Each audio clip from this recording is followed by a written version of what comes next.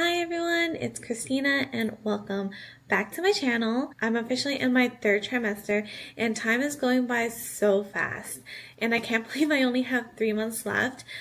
Time just went by so fast and I'm been kind of like loving pregnancy to be honest. Baby has been treating me so well because I haven't had any morning sickness or food aversions or anything. I had a lot of anxiety during this pregnancy, but I just haven't talked about it that much or showed it that much. Obviously, I have been telling my therapist, but we are working through that. It's just because, like, luckily I have been having an easy pregnancy, but you know, there's always just like this, like, in the back of my mind that like something's going to happen or, um, and I'm just like so scared of childbirth and just like the after and like the unknown and stuff like that. But I'm working through that. but overall, I have been having an easy pregnancy, so I am pretty blessed with that. But it's fine. I think it's because I felt like I was robbed from the experience of when you are pregnant for the first time because I had a miscarriage in January. So I think that's why I just feel so anxious all the time. But I, yeah, like I don't talk about it too much. I try to think positive because my baby boy is doing quite well. All the checkups have been great. And so he is healthy and I just can't wait to meet him in November. So I'm just really excited. I'm rambling too much about how anxious and scared I am about this pregnancy because I mean, I'm sure like other time mothers also feel this way too. I'm really scared. I'm just really happy that this pregnancy has been really easy because a lot of my friends also say that like, wow, like you're glowing and it looks like you've been having an easy pregnancy, but like deep down, I'm like, I'm anxious, I'm scared, you know? So yeah, let's move on in this video. In this video, I want to talk about my second trimester. We're to do a recap because in my other video, I talked a little bit about my first trimester. In my first trimester, I was just exhausted all the time. I just had no motivation to do anything and I was just like really, really moody. I took a lot of naps. That was like pretty much the gist of first trimester. No morning sickness, just some migraines and headaches. Other than that, that was pretty much it. Oh, let me show you my belly. I just feel like I am like showing a lot more now. I feel super pregnant and I actually like look pregnant now because before I just look fluffy and big and I feel like I've had like issues with my weight before and I just feel like I have like, you know, body dysmorphia. So I just feel that like, oh my God, I'm just like never gonna look pregnant. That was like during my first trimester and then my second trimester. Now I'm looking pregnant. in this video, I'm pretty much going to talk about what I've been up to, some of the good things and some of the bad things. If you'd like to see more pregnancy videos, give me a thumbs up and hit the subscribe button. If you have any tips or recommendations, please leave them in the comments below because I would love to know as a first time mama. But yeah, so let's get into it. So during my second trimester, I was traveling for two months. It was in the beginning. I went to six different countries. I went to Italy, France, Switzerland, South Korea, Japan, and Taiwan. So I went in May all the way to like the beginning of July. I came back July 5th and honestly, I would not recommend going to Asia pregnant in the summer. It was just so hot. I had like a few meltdowns. I was just so hot. Like being pregnant and it's hot and humid is just like, it just doesn't mix well. But overall, what I do recommend is traveling during second trimester because that's when you have like the most energy because you aren't that big, but your energy picks up a little bit. For me, I was like able to do a lot of things. I wasn't as fatigued as I was my first trimester and traveling pregnant, like you get like special treatment and everyone was just so nice to you and I was just like, oh my god, like I love this, you know? It was great. Everyone was like so nice and accommodating and everything. But the only thing that really upset me, but it's like a me problem, but like usually I jam pack and like maximize my time while I'm traveling, but my husband was like, we literally can't do all of this because you're walking a little slow. I would get like tired real easily, but I did walk a lot, but I felt like I could have walked a lot more or did a lot more if I wasn't pregnant. It was like raining in like most of the countries we went to.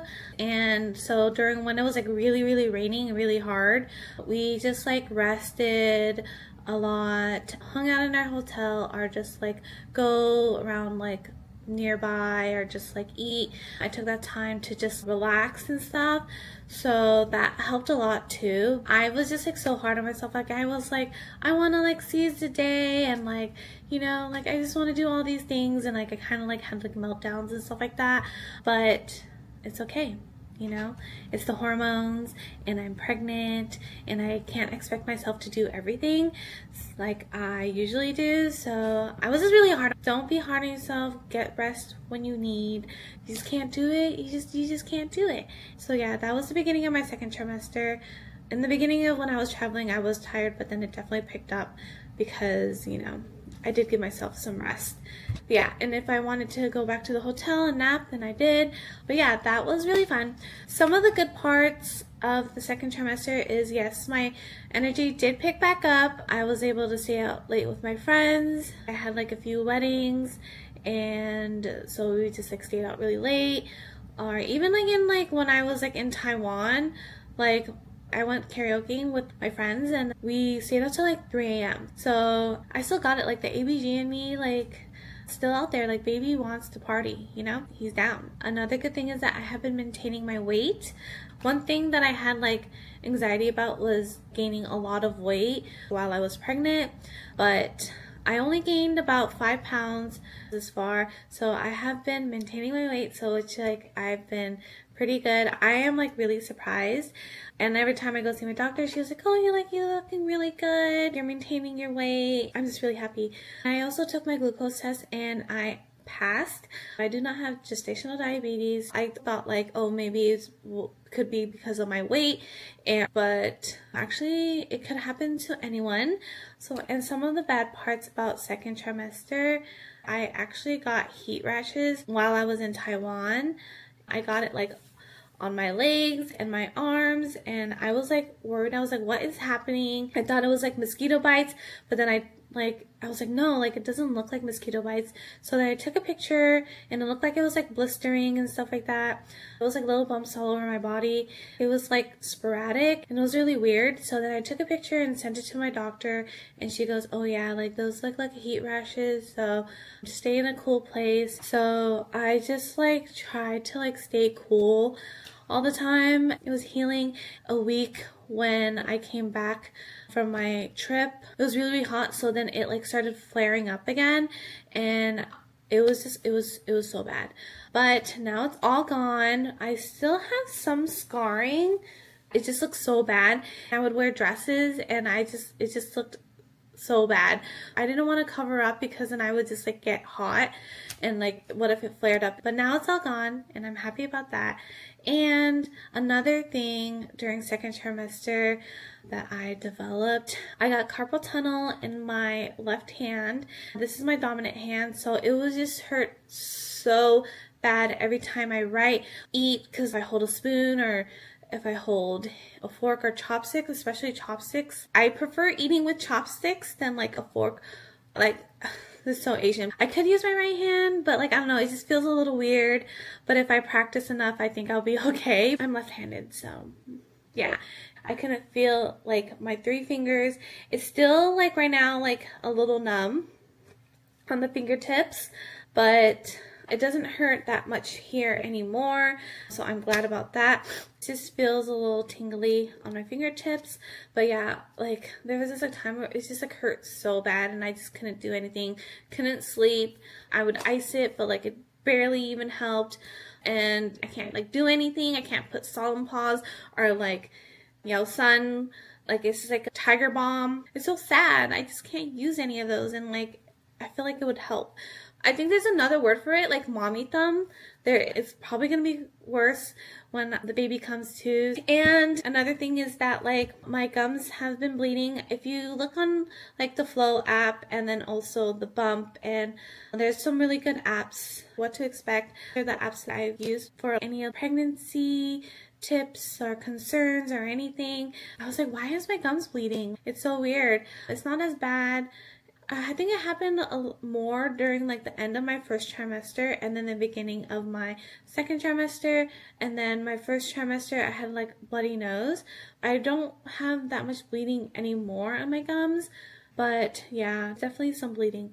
Another thing during my second trimester that I have experienced was like my pelvis and like my hips expanding. It's literally the worst pain of like my life. Like I would cry and like one time I was about to go to sleep and I just felt this really sharp pain in my pelvis and left hip area and I just cried for so long and my husband was just like he's not very comforting. He's trying to be comforting, like soothing me. He's useless. And then one time I was driving and literally it just it hurt so bad.